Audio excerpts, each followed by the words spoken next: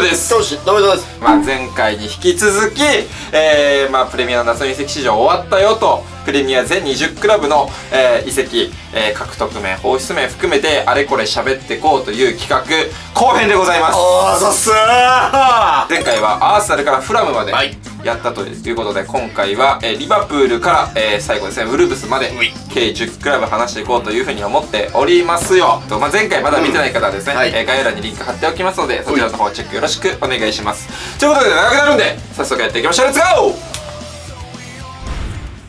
ということで、えー、まずはリバプールでございます。ね獲得面こちらでございます。ババントということで、えー、4名ですね。はどうぞ結構でもなんかすっきりして見えるね。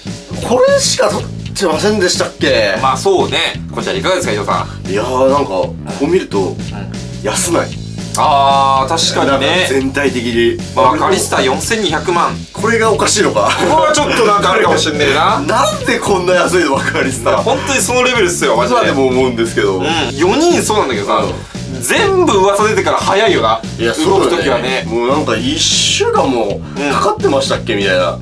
そんなレベルじゃない？そうこれまで。ねちょっとバックスをねなんか欲しかったなんていうような、えーねうん。クロップ、まあ、欲しいっていうような話してたんでね、はい。そこはなかったのが今後どう響いていくかと。うん。これちょっと大丈夫かなっていうのは、ん。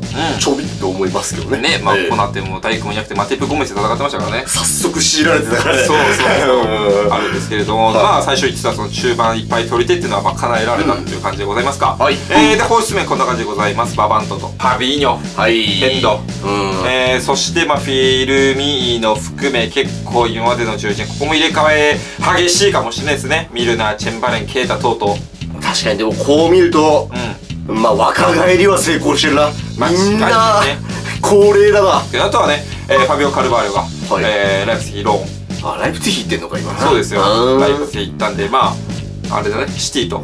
そうだねワンチャン出るのかな。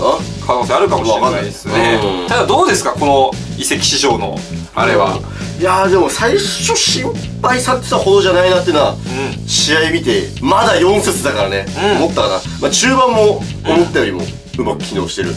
これあるしディフェンスもまあうーん大丈夫かーんそうね。分かんないけど、補強できてるポジションはいい感じだけど純粋に補強できてないセンターばっかりが心配みたいな。そこはあるけどもでもな思ったよりうまく回ってるようなイメージあるわ。リバプールはアンカー、うん。えー守備問題っていうのが徐々に浮き彫りになるかもしれない。今はまだ隠せてるけどみたいな、うんまあ確かにね、バカリスタアンカー、うん。えーやってますけれどもそういうところがどこまでこうはい通用するのか、はたまたバカリスタがもうアンカーとして完璧にロドリっぽくなるかもしれないしね。いやーまさかね。全然可能性あるんですけどまだちょっと、えー言うても、えーこれから見えてくるかもしれないというようなイメージあるかもしれないですね、うん、はい、続きまして、えールートンタウンでございます。今日こんな感じということで、まあね、えー、小学なんで結構いろんなメンバーをということで、うん結構なんて言うんでしょうね、各クラブの、はいえー、このちょっと、まあ、若手だったり、うんえーくすぶってるメンバーが集まってる感あるね。確かにそうだねルートンはなんか工事とかであんまお金使えなかったのがあー、そうですね。スタジアムのホームスタジアム。うんやっとこさ4節かなんかで間に合ったのかな。ね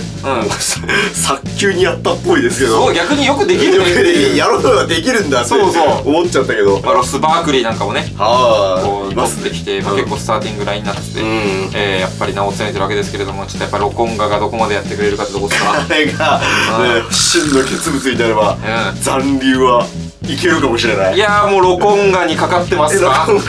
そこまででも勢いはあるかもしれない。大丈夫ですか？えー、そしてまあ放出こんな感じでございますけれども正直よくわからんっていうのがもう放出先もさチャンピオンシップとかリーグワンがほとんどでしょ。あー確かに。うんわかんねえなこれ。そんなわかんないっていう、まあ、ルートンがどうなるか、まあ、最もある種未知数だからね、まあ確かにな。それがね、あるかもしれませんけれども、まあ、えー使った額で言ったらプレミアはもちろんですけれども、えー一番低いと。はい、続きましてですね、えーシティでございます。は、はいい補強こんな感じということで、まあちょっとなんかね、下の2名は、なんか入れちゃったんですけど、あまあ、ほぼ4人、うえー、ヨシコ、ヌネス、ドク、コバチ。これいかがですか、伊藤さん。ん？いやこれはまあ、うん空いてるそのポジションを、ん。まあ埋めに行ったという意味では、うまあやれることはやったんじゃないかなっていうおおむね満足ですけどね。これ以上いります補強っていう、うんうんうんうん。あと謎ブラジル人がお前、そんなんないだろ、シティが謎ブラジル。ないないですか？謎ブラジル人。回帰ぐらいだ回帰回帰が結構有望だったんですけど彼はどこへ？おかずここ欲しかったなとかも特にない？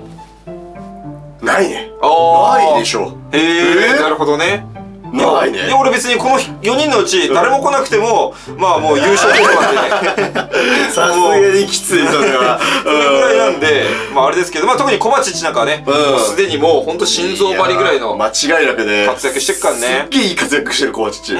ただなんか、なんだろう、うん。こう例年と比べてシーズンちょっとワクワクしてんじゃないかなっていう。ね意外とやっぱその攻めた補強多いかな。攻めた補強だねこれは。うん。ドクとかヌネスとか。ここら辺どうなるか正直わからないよね。うんうん。ここハマるかどうなんだろうっていう期待感と、えー不安感が両立してる選手が多いみたいな。そう。ゆえにまあある意味楽しみでもあるかなっていううんうん。刺激的だね。そうだね。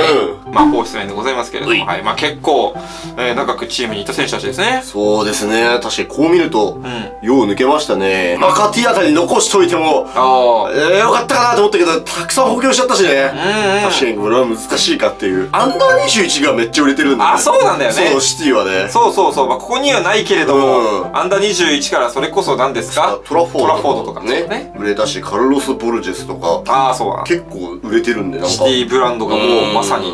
あとはまあもう本当にギュンとかマフとかのうんところを新加入がしっかり埋めてくれるのかどうかっていうところか。まあそこら辺は、うおいおい見ていきましょうかね。うんうん、ええそうです。次してユナイテッドでございます。えー獲得名こんな感じでございます。ババンとということで。えー結構動きましたね。おー、そうか。でもまあメインで言うと、ホイルンド、マウント、オナナ、アムラバト。まあ結構この夏、特にね、まあ、CF ゴールキーパー、えー、っていう、まあ結構補強するのが難しい、うんポジションでございますけれども、まあ、ホイルンド、オナナ等々セリエから、えー、まあ、補強をということでございますね。ホイルンドのなんか、この大物感はね、いやムンムンにありますね。やってくれると思いたけどね、アーセナル相手に、うん。マガリアリスとか相手に結構頑張ってたから。悪くねえかなって思いますけどね。そうね、勢いというか、あそこが新たな戦、あの、新たな戦術のね、軸になる、みたいな雰囲気はあるかもしれないですね。あとはまあまあ、マウントとかですけれど、マウントはちょっとやっぱ怪我と、あとまだハマりきってないみたいなところ。そう、なんか絶妙なタイミングで怪我してしまったから、うんなんとも言えないんだけども。まあこれをはめていくっていうのも、うん。まあ仕事ではあるな。そうだね。うんあと、オナナもね、うんあのもちろんもうスーパーなんですけれども、オナナもまだユナイテッドにはまりきってないみたいなところ。そうね、なんかこのビルドアップしたいのか、ロングボール蹴るのかみたいな。うんうんアーセナル戦って結構さ、狭間に揺れてたのよ。そうね。ここも含めて戦術の構築がやっぱ求められるな。これ意外と難しいっすよ。ある意味、オナナを使いこなすのむずいのかなね。そうそうそうんはあと、アムラバトスね。ーいこ。こら辺も最終日にやってきて、ローンフィーが1000万ユーロですから、めちゃくちゃ高いですよ、これ。めちゃくちゃ、去年のなんか、ジョアン・フィリックスとかそんぐらいだったよ。ああ、そうね。うん。どんぐらい使われるんだろうね。うんうん。あんま、そんな使うとこあんのかなみたいな。風ビロが万全なうちはっていう。ただ、風見ろも結構やっぱね、開始早々ちょっと怪しい部分があったりという意味では、意外とこう、村場と、えー先発で使ってみたりってパターンもあるか。確かにな。どうですか、こう総評としては？いや、総評としてはでも、うん、埋めるところはちゃんと埋めてはいるけども、やっぱなんかセンターバックがあれなのか、なお足りないみたいな。そうね。まあバランにさ、両方いっちゃってるしね。あと、ルーク・ショー。そう。あと、リンデルフも交代しちゃったか。あー、だから、まあそれそこまで読めるかどうかって難しさあるけどね。まあ、難しいな。難しいけども、でも、おおむね良くないっすかって思ったけど。あの、取るところまではもうパーフェクトだと思います。うんうんあとは現場に当てはめるかどうかが、何なんでしょう。雑に使って当てはまりそうな選手が誰もいないですよね。確かに、これが難しいよね。そうなんですよか一癖みんなあるというか。ううん。だから、全員で満点になる可能性もあれば、うん全員揃って何だったんだみたいなパターンもあるかもしれないっていう、そこがね、はらんでるのがちょっとね、あの、面白いポイントなのかなって確いう。かに難しいね、そうそういうのね。おすすめでございます。こんな感じですね。ババントということで。まあ、出てたメンバーで言うと、エランガはもうね、はい相当相当活躍してます相ね。当いい活躍してるんで、うんむしろ今ユナイテッドがんエランガの手を借りたいんじゃないかっていう。そうですね。ちょっと、さらに、ウィンガー問題がいろいろね、そうね。あるいろいろね、あるからね。あとはまあメイソン・グリーンウッドとかね、ヘタフェ行きましたね。ああ、そうですね。これもまあ衝撃っちゃ衝撃でしたけど。一応ローンという形で、はいただこれは別になんだローン1年経ったから、うんユナイテッド戻るっていうわけではなさそうみたいなね。まあそんな感じはそうありますな。ってな感じでございますけれど、まあもう本当に、はえー結構結構、なんか大事なうん1年になりそうだね、そういう意味でねうだ。うん。はい、続きまして、入荷するでございます。はい今日はこんな感じです。ババンとということで。えー、まあ、隣、バーンズ、とうとうとうとう。うんまあ、隣も相当衝撃あったね。隣は衝撃でしたけどう、ん。ああ、こんな面だって思いましたね。うんうん運動量といい、うん。うん。まあそう戦う、戦える姿勢。がまあさすがだなって思いましたね。そういう意味では隣とバーンズはさ、うん。もうすでにハマってる、うんもうらしさを見せて存分に見せてるっていう意味では、は逆に言うと新戦力感もうないもんねなんかね。いやもうなんか主軸すぎて。馴染んでますよねね。十二分に。あとこちらのですね、まあ、18歳のヤンクバ・ミンテっていう選手なんですけれども、はい。えー一応取って今回取って、えーまあ、こちらでございます。ババントということで放出面なんですけれども、えーローンで、はい。えー、とフェイエにうんうんうん。行くということで、こういうのが我が軍にも欲しかったよっていうあ話なるほどね。そう。ミンテ枠がね。そうミンテ枠。あということで、まあ、はい。えー放出ございますね。えーサンマクシマはアルアハリ行はいくということで、うん。えーまあ、これがちょっと悲しいですね。これはちょっとううん寂しくなるな寂しくなるね。うん。基本的にねニューカッスルもパワーアップはい。してはいるんですけれどもまあサンマクシマンのその花、うん。その花を誰が出すんだいと、なるほどね。そこだろうね。まあでもまあいい、まあまあ。今日着実な一歩そうだね。っていう感じはあるんじゃないかな、うんうんうん。はい、続きましてはフォレストでございます。フォレストも多いんでね、バーっていきますよ、バーって感じで、ダーって感じでございますけれども、うん。ほんと最終日付近にね、はい。結構結構動きましたね。はい。例えばサンガレ、うん。えーこちらペースフェン選手ですけれども、3500万ユーロで。これが一番でかいんだな値段的にはな。そうだね、えー。今月はっていうところと、オーバービテレとかも最終日付近よね。はい。そうですね。ええー。行ったりとか、うん。あとはまあ、モンティエル、オリギ。ー、はい。えー、そしてまだヌノ・タバレスとか、うん。オドイとか、うん。去年も爆買いして、はい。まあ今年もまあローンとか多いけれども、うん。えー、爆補強 そうですね。してますね。どうすか、ここ期待したい選手とかは？期待したい選手で言うと、ヌード・タバレス。あヌード・タバレス。らいや、わかるよ。あるんじゃない？わかる。うん。ヌーノ・タバレスさは、い。やプレミアで見たくない？いやそうよ。ね昨シーズンはさマルセイユにローン行ってて、うん。まあ、どうやらマルセイユでも結構オーバーしてた、うん。そうなんですけど、うん。プレミアでタバレスを見たい。いやそうだね。これが大事ですマジで。あとはサンガレとかね、うん。あのーまあ、結構いろんなクラブがそう。噂上がってたうん。気がするんですけれども、この夏だけじゃなくて前の夏とかそうね。の前からってところでそれがちょっと上陸してきたんでそこがどうなるかってところとあとはまあ選んだがどこまでいけるかよね。いやーそうね。すでに相当えぐいですけどブレナン・ジョンソンが出てたってところもあって結構俺はスタメンで使ってみても面白いんじゃないかなっていうふうには思うんですけれども。ただアタッカーをめちゃくちゃ補強したからねなんかオドイとかさそうなんですよ。オリギとかねオリギとかさこれどうすんだろうね。どうすんだろうね。結局ギブスホワイトがなんとかするんですかねギブスホワイトは基本的になるんですギブスホワイトとどれだけみんな仲良くできるか選手権がそういうのが今始まるわけだ。開催されてんのか。そうだね。まあ、おースメンこんな感じでございます。ババンということで。まあ、ブレナン・ジョンソンがはい。5500万で、ああ高いですねよとかありますけれども、うん。他でとまあそんなないかまあ、ブレナン・ジョンソンもね、まあ、うんフォレストの本当ホープだったわけで、ただ一個枠空いたからそこをね、この豪華アタッカー陣、そうね豪華補強陣がどう埋めていくかって感じやな。なるほどはい。はいえー次まして、シェフィールドでございます。はい。今日こんな感じでございます。ババンとということで。まあね、えー前編でも話した通り、まあ、キャメロン・アーチャーを相当な金額で取りまして、うん。あとはね、あのトラスティ、はい。アーセルから行きました。うん。これは完全なんですけれども、左利きのセンターバックで、去年ね、うん。あのチャンピオンシップで相当相当活躍してて、はいはいはいチームの確か、えー年間の MVP になってたかな？あマジで？それぐらいだったんですよ。あの、朝がアメリカツアーにも帯同して、結構あのー、あの、本当優れた、うん。左センターバックで、でもなんか安くない？なんかの割には。これがアーセルらしさ。アーセルらしさ。抜けたなとこがそう。あれなんですかねドラスティちょっとね、見てみたいですけど、どこまでできるのかってそ。れは気になるで、まあ、シティで言ったら、まあ、マカティ、はいはいはいこれありますこれがね。2年連続ですね去年もうんいたけども今年もローンでっていうそうだね。えー、あとはですね、うんあの、まあルーク・トーマスとか、ああそうかそして、あの、デイビトム・デイビス、うんエバートンとレスターからローン取ってるんですね。去年はなんか悪くねえんじゃねえかなって思ったっすけどももう、もうキャメロン・アーチャーがめっちゃ楽しみだもん。そう弓パフをもっと見たいからね。でそうめちゃくちゃ見れると思うよあれかっこいいもんね、普通にな。で、ホイスメはこんな感じでございますけれども。うん。うんなんかこれしかいないのかあ、そうね。だから、うんもうこれも前編で話しましたけどサンダーベルゲ。こうんこら辺はなんかもうシェフィールドユナイテッドの顔みたいなとこあったじゃないですか。うんそれがまあいなくなってっていうところで。あとエンディアエ。うんこちらも結構なお値段でマルセイユにへえそうだね、ストライイカーですけれどうんも、セイユ行ったところで。これも完全なんだね。うーんうんうん。っていう感じが。えー、まあブレイズ。はいえーシェフィーユナイテッドでございます。なるほどはい、続きまして、トッテナムですね。はい、こんな感じでございます。はい、ダダントということで。えー、結構な金額使っておりますね。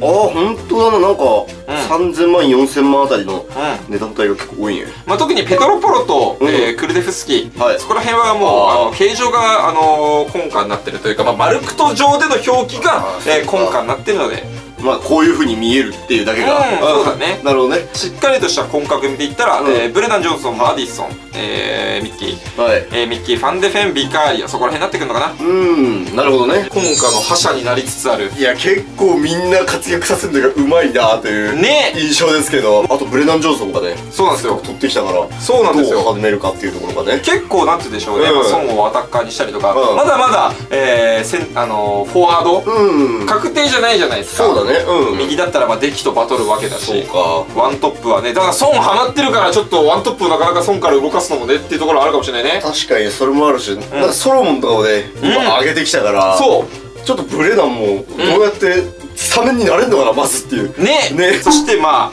えー放出でございますけれども、なんはかちょっと悲しいメンバーが、えー、ねケイン、えーはい。ウィンクス、はい。えーダビンソン・サンチェス、モウラ、えー、等々。いやなんか長いうん。よね、彼らもね。そうだね。ちょっと多いね。うん。ありますけれども、まあもう、なぜでもハリゲイン。ハリケーン。まあ、この今夏、うん。プレミアからいなくなった選手の中ではもう飛び抜けてビッグですね。まあそうですね、うん。ただ相変わらずブンデスでも、まあ実力を発揮してそうなので、うん。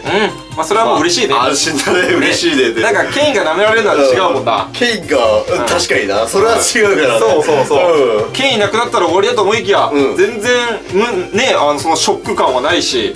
マジで何かしらタイトル取ってしまうかもしんねえみたいな。これはちょっと。ケインがいなくなった途端にみたいな。逆に取れないっすよ。え逆に取れないよこれ。逆に取れないっすよマジで。申し訳なささそう。がこれだけ見たら絶望するラインナップなんですけどね。獲得面がよくやれてるんでね。うん。確かに、うん。これは すごいなって思うね。うん。第4節段階だけど、なんかまあ、えー、質のいいインアウトみたいなうん。感じはあるよね。いやこれはね。素晴らしいと思います、うん。はい。はい、続きましてウエストハムでございます。本業こんな感じということで、マヤックスからダブルドリクズスとエドソン・アルバレス。ああそうか。ダブルで取ってんのか、ん。へでえボードプラウズ、ん。そしてマブロパンス2000万もすんだね。いやーでも結構なんかブンデスの方でね、うん。ようやってたっていう話なんで、もうこんぐらい値段なんかね。まあボードプラウズとかはね、うん。えー、まあ本当もっといろんなクラブが名乗り出てよかったんじゃないかって言われるぐらいの。うん。とは思いますけども、うなんか一番うん。行ったらヤバそうなクラブに行きましたが。うーん。そうだね。ーの強化という意味で、まあただボードプラウズがウエストハム来てさ、うん。ハマらないって思うやつ誰もいないもんね。もう想像通りの満点叩き出してきたなみたいな。もうモイズがもう欲しくてたまんなかったやろ。大好きよ大好きやろこんなの。クドゥスもまあ相当相当はい。いろいろやれるし、ただ上手いだけじゃね、うん。ウエストハムはね。難しいですから、ね。怪物さをどれだけ出せるか。そう少ないで、アクションでどれだけゴールに近づけるかそうそうそう、ん。そこがねクドゥスどこまでできるか、はい。ちょっと楽しみですけれども、うんえー、ホイッスルはこんな感じでございます。ということでまあデクランライスがね、はい。でかいわけでございますけれども。まあだからデクランライスのね、はい。その分で結構いい補強をしたと考えたらウエストハムは相当よくやったんじゃないかな。みたいな、うん。そしてジャンルカスカワカがアタランタと。完全ですね。早かったですね、うん。一年かあとなんかブラシッチとかあとランシーニここら辺がいなくなっちゃいましたね。なんかこれも結構、ハムハム味のあうるんハム味のあるメンバーでしたけど。ね。結構ね、うん。長年のメンバー出したとはいええーまたこちらもいい、うん、いいよね、インアウトできてるのかもしれないですね、うんうんうんうん。はい、続きまして最後ですね、ウルブスでございます。うん。はい、メンバーこんな感じということで、ただ結構あれなんですよね。はい。あのまあ、クーニャとか、あー。あとブエノとかか、ここらあ辺はもう前からね、あれかスパーズのなんかクルゼフスキとかとああ、そうそう。同じ感じが？あとはまあマット・ドハティが、うんまたウルブス戻ってきたよと。あスパーズ行って、アトレティコ行って、で、おいう、ゆっくりとした一周を終えてね。確かにな、ん。ビッグクラブを渡り歩いてそうね。大きくなったドハティが帰ってきましたね。あとはまあクーニャがね、うん。まあどれほど点を上げれるか。そうだね。っていうところあるかもしれません。えー、そして放出面こんな感じでございますね。はい。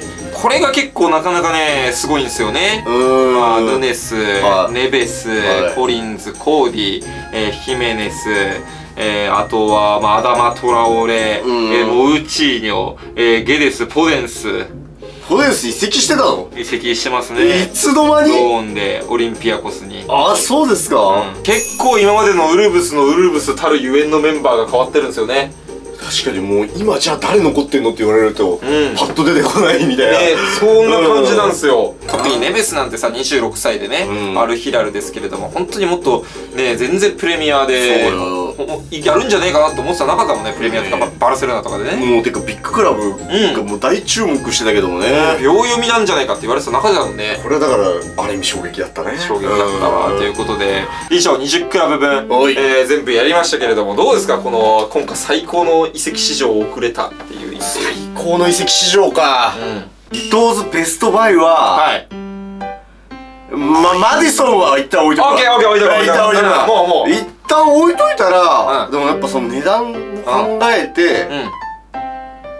マクアリスターになったあーなるほど。なんだかんだ、うん。あーおかしいよやっぱねうん。バグだなって感じるよね。って思いますし、まあ、うん。あの使い方の幅の広さ、うんうん。まあ、な本当は不慣れだと思うけど、アンカーも。うん割にはうまくやってんのかなって思うし。確かに。伊藤 the best team。ベストチーム。最高の夏を送りましたでしょう補強面だけで言ったら、うんスパーズになるのか？ああなるほど。スパーズか？今の試合を見ても、の判断もあるけど、まあ、うまく当てはめてるなっていうところがうん。一つあるね。逆にどうっすか？